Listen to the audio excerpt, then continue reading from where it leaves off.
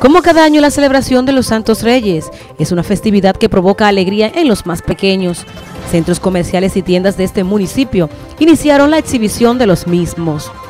Consultamos a ciudadanos que acudieron desde tempranas horas a realizar sus compras en torno a los precios, variedad de los juguetes y dinamización de las ventas.